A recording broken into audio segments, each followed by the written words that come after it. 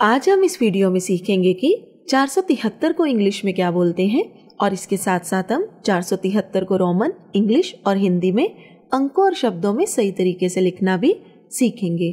चार सौ तिहत्तर को इंग्लिश में हम 473 कहते हैं और इसकी स्पेलिंग होती है F O U R four, H U N D R E D hundred, A N D and S E V E N T Y seventy, T H R double E three और Roman में चार सौ तिहत्तर को C D L X X I V लिखा जाता है।